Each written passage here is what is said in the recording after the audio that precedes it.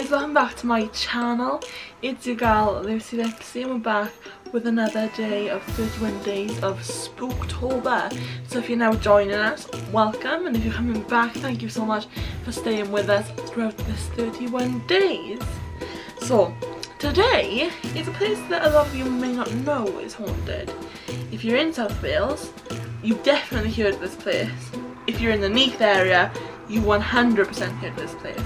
But not that many people know that it has such a grisly background. So without further ado, let's jump into today's video all about the steelworks.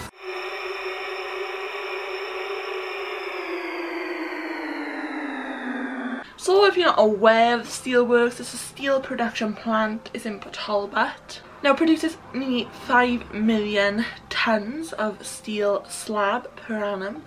It's got a labour force of around 18,000 people. It actually has 4,000 employees at the Talbot plant, so that shows you how big this is. Now, the original Talbot works date back to around 1901-1905.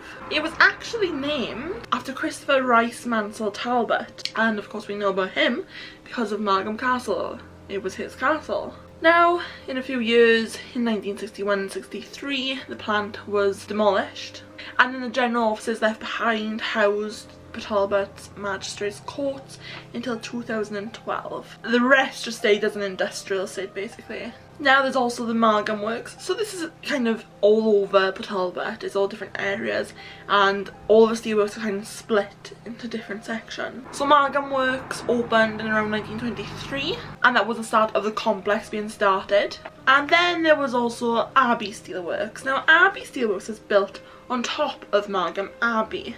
That was planted in, in 1947.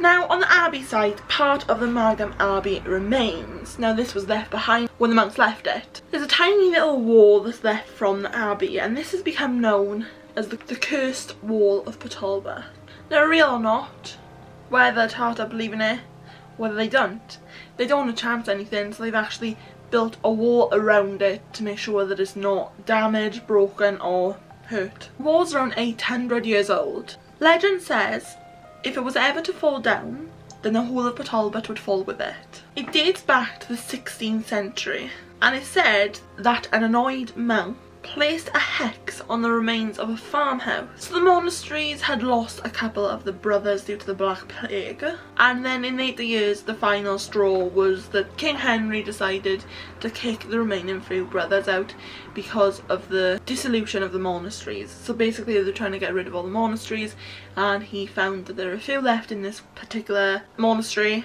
so he kicked them out. Now as a final parting gift, one of the monks was said to speak to Christopher Rice Mansel Talbot and say he would put a curse on the remaining farmhouse. He said that if this farmhouse was to deteriorate and this particular wall was to ever fall, then he would ensure that the whole of Talbot goes down with it. And descendants have taken care of it since. They have not let anything happen to this wall. In the 70s, a structure of stone had been built to keep the wall up because everyone was concerned that it was going to go down. It had deteriorated quite a bit and basically they thought that it was going to fall and they didn't want Talbot to fall with it. They all believe this, you know, they actually do believe it. If they didn't they would just knock it down surely. So they decided eventually to put up a wall to hold it up sturdily.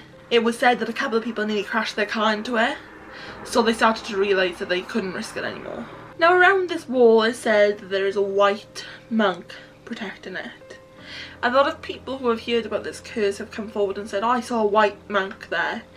However, the monk that placed the hex did not wear white, despite being called a white monk. Two crane drivers were doing some work down by the wall and they came forward to the manager and said, we're not working down anymore. We've just seen something. There was something there. We don't know what it was. It, it just went past. It was with a hood and we don't know what it was. They had no idea of this curse. They had no idea that there was a man haunting the steelworks. Now a lot of people say that the monk who hangs down at the further end of the steelworks is the monk who placed the curse himself. There's also a red monk that hangs out down there. Nobody knows if he is of any relation to the white monk. However, people have said that whenever they walk down at the end of a night shift, they tend to feel scared and they feel like there's something watching them. This isn't all the secrets that the Steelworks has kept quiet. There's also a hidden tunnel going from the Steelworks to Margam Castle. Nobody seems to be able to find it, but there is legend that there is one. And then there's also a stream going all the way from the steelworks to Brecon Beacons to transfer goods. Nobody knows where that starts and ends either. Now, there's said to be 15 men buried underneath Tata steel. Now, these men were killed alongside another 72 others. In 1890, in one of the worst disasters in a pit of all time. It was a tragic explosion at Morfa Colliery. It's said that a lot of the Morfa Colliery ghosts haunt Tata Steel and I suppose that's because they're buried there.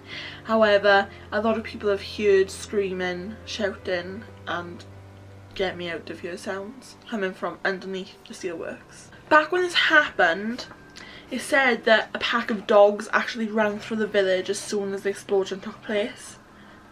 These are ghost dogs. They're known as the Red Dogs of Morfa. It said that the day that they all got killed, there was a sweet smell through the colliery. People described it as a death flower smell. They called them the invisible death flowers. They never stopped hearing the cries for help. And they also used to see the Cannwyll Corff corpse candles. Now an official report of 1890 says that the colliery is haunted and no man should go down there on his own. So guys, that's Tata Steel and Morfa Colliery. Do you work in the steelworks? Did you know that? Did you know there was ghost haunting there?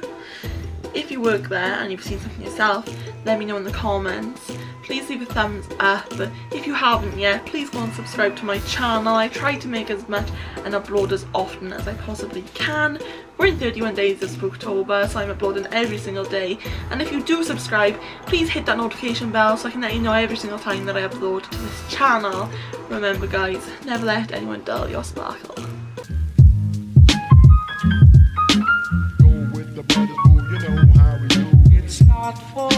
It's not